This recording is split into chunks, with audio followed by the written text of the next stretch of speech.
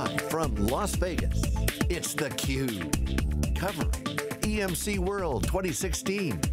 Brought to you by EMC. Now, here are your hosts, John Furrier and Dave Vellante. Okay, welcome back everyone. We are live in Las Vegas for EMC World 2016. This is SiliconANGLE Media's theCUBE, our flagship program. We go out to the events, extract the signal from the noise. I'm John Furrier, my co-host Dave Vellante. Our next guest is Michel-Alain Proch, who's the Senior EVP and CEO of North American Operations at Atos SE. Welcome to theCUBE. Thank you very much. So you have been working closely with EMC now about four years. What is this uh, uh, relationship like? Talk about the philosophy around what you guys are doing together and as a customer, what's going on? Right, right. So in, in, in year 2012, we, um, we founded this uh, Enhance Alliance with uh, EMC Federation, and it was really based on a, on a joint view that uh, our customer wants now to consume technology as a service, so first point. Second point, they want to have a full OPEX model. And third point, they, uh, they expect a full end-to-end -end and turnkey solution. So three, three major things, really. And we were sharing this, uh, these three views, and that's why we created in 012 this, uh, this uh, enhanced alliance. Since that, we have you know, invested into uh, a broad range of uh, technology with our friends at, at, at EMC. To tell you the truth, in 012, we really began by deploying very massively um, vBlock everywhere, okay, that was quite traditional. Then we moved on to enterprise private cloud, then after to the uh, EHC, the enterprise hybrid cloud, and now we're working with, uh, with EMC and VMware on the software-defined data center, which, uh, which we are deploying uh, to our customer, and particularly to our first you know, largest customer, uh, Siemens. I know Siemens was testifying this morning about smart, smart storage, and behind this smart storage is something we've built together um, through this uh, enhanced alliance. So I wonder if we can pick up on that. So your philosophy is as a service, it's got to be a service. OpEx model, and it's got to have end-to-end -end capabilities. Exactly, right? so that's really the three things we were sharing with, uh, with the Federation, which are the basis of this alliance. Which, on the two of the, two of the three, are sort of new for EMC, right? They're yes, typically yes, not as true. a service, typically true. not an OpEx true. model, but of course they have end-to-end -end capabilities. So talk about the value that Atos brings to that relationship and what's the value that EMC brings. Yeah, brings? so basically EMC is bringing first and foremost innovation. Innovation to the customer, faster and more innovation. We are bringing, we are bringing end-to-end -end commitment and we are bringing a single accountability to, our, to the customer. And that's very important because we are integrating EMC and VMware building blocks into our solution under one single hat facing the customer. And that's the, the, the, most important value. The last point which really has developed in the last, you know, maybe 18 months is that on top of everything I have said, now customers are, are beyond anything what they want is business outcome. They don't want you to sell a new technology, even if it's a cutting edge technology. To tell you the truth, they don't really care about the technology. They care about what the technology is going to make them unable to do. So is it speed? Is it agility? Is it cost takeout? But that's the business outcome I'm talking about. So we hear a lot about digital transformation. You hear that everywhere. So how does that theme of digital transformation, what's the outcome that customers are looking for in that context? Well, so at Atos, we have named our digital transformation strategy Digital Edge. Mm -hmm. So that stands for, uh, and that stands for engineer, design, gather, and ends. That's the edge.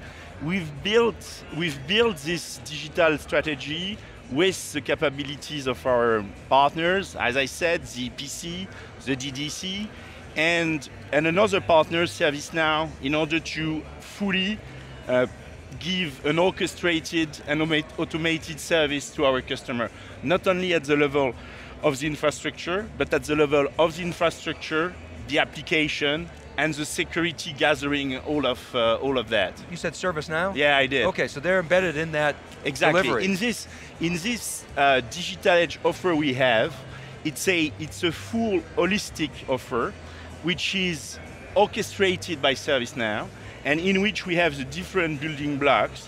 One is obviously the legacy infrastructure because our clients are complex and still have legacy infrastructure, EHC with uh, EMC, and the, the software-defined data center. Then on top of that, we're linking it with, uh, with public cloud, mostly with AWS and with uh, Azure. So everything as a service, that's kind of services, well, service exactly. Well, you know, everything being into, uh, into one hat. And you know, you were, you were asking about what's the value at the end to the customer. I mean, you really have now two type of companies. You have the brand new companies like the Booking and Airbnb. Their infrastructure and their application landscape is actually quite simple because it's brand new. Mm. So they have all the bright and shiny things that have been issued in the last, you know, two years. Now, when you talk about Siemens, you talk General Electric, you talk whoever, they have a layer of uh, infrastructure and application that they've been building for years. This is what our strategy is proposing, managing under one single hat the old world and the new world, uh, both at the level of the infrastructure and the application. Now, you made an acquisition, Xerox ITO, right? Yeah. Can you talk yeah. about that? How does that fit into the strategy? Sure. So, I mean, before diving into it, Atos today is uh, making, give or take, 13 billion worldwide, 100,000 people, out of which after the Xerox uh, ITO acquisition, here in the US, we're making 2.5 billion, 13,000 people. So really what it brought us here in the US was a jump from a situation in which we were subcritical in terms of size, footprint, capabilities, to uh, the, the, uh, the first Atos operation in the world, largest largest, larger than Germany, UK, or, or, France. So US is our first operation. What, what, it, what it was really was bringing the capabilities of Atos and its partners to the um, Xerox ITO portfolio of clients because with with 40 clients, you had most of the revenues that Xerox ITO was making in the US. And it's, it was the, um, the first step of the strategy was materializing the synergies between the two. That's what we've been doing for the last 12 months because we closed the acquisition pretty much 12 months ago.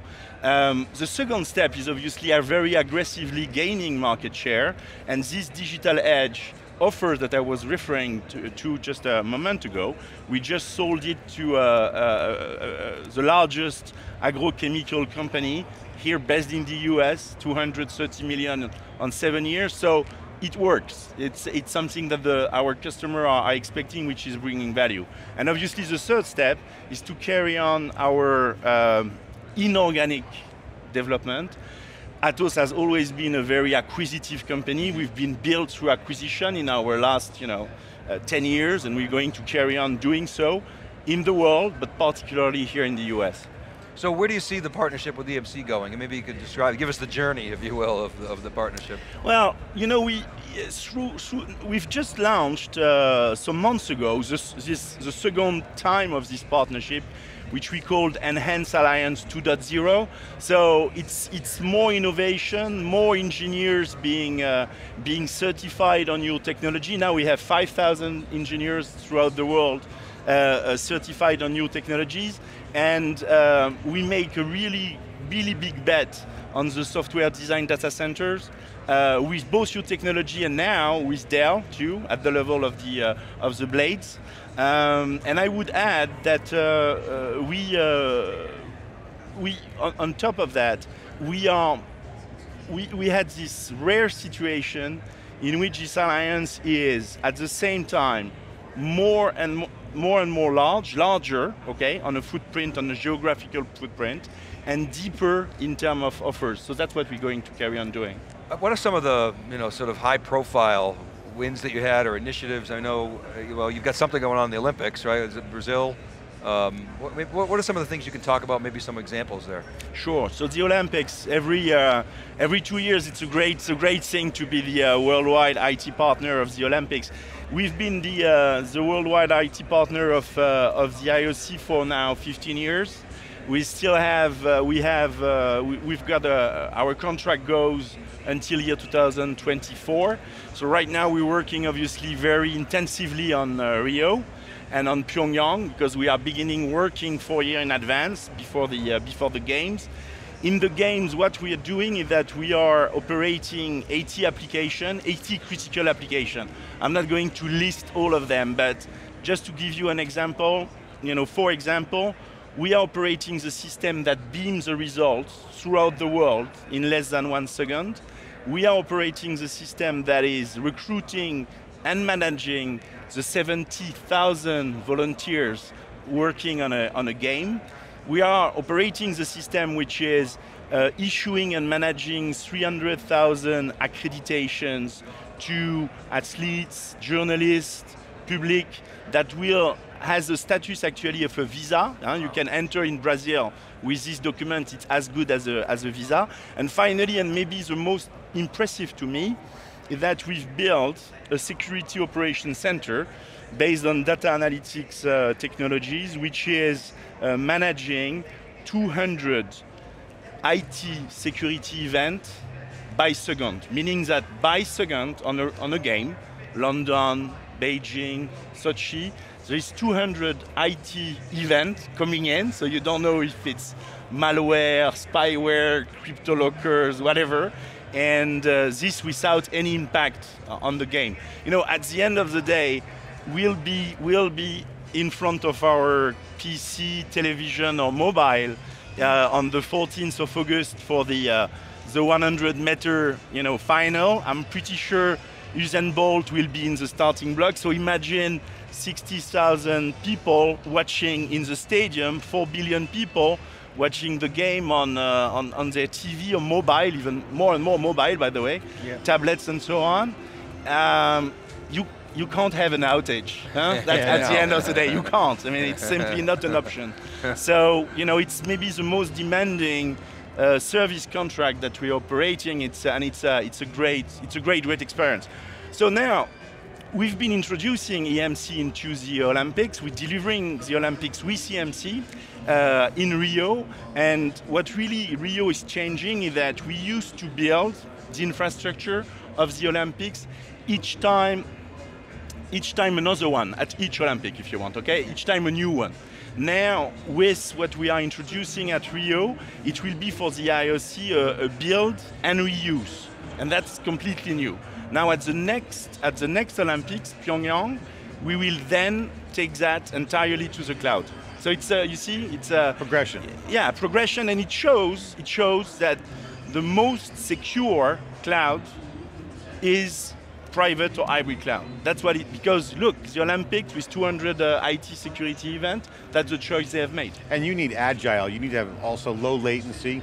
Exactly. So you have high performance environment exactly. at massive scale. Massive scale.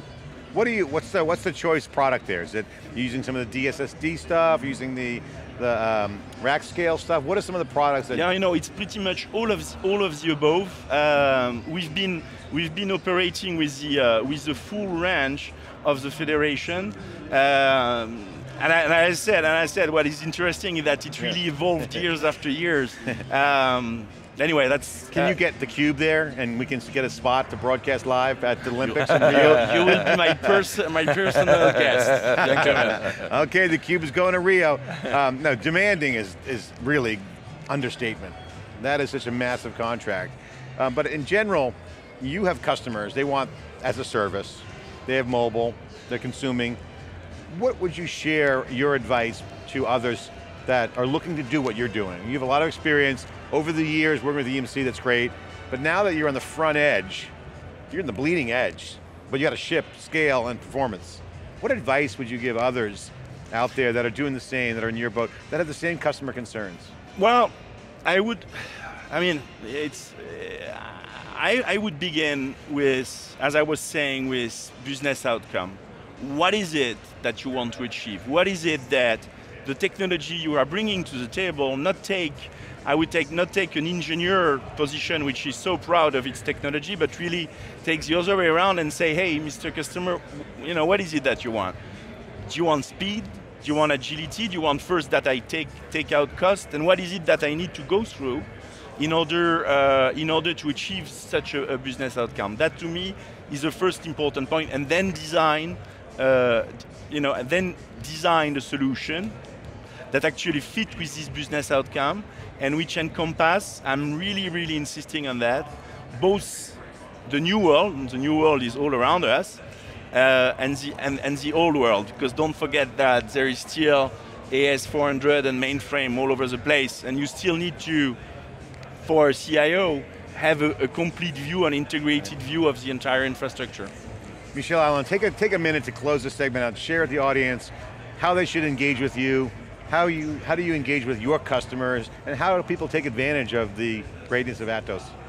Well, we, we've built, we've built, I think, in a in the uh, in the world and in the US, a very easy way to work with us. We are a, a company which is at the service of our customer.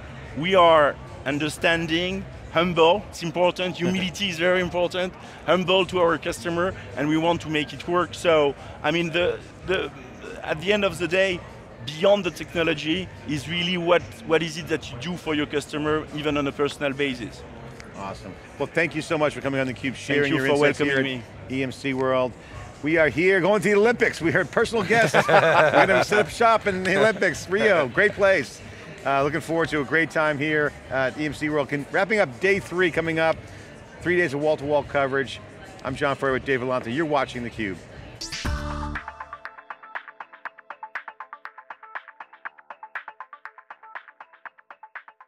Looking back at the, at the history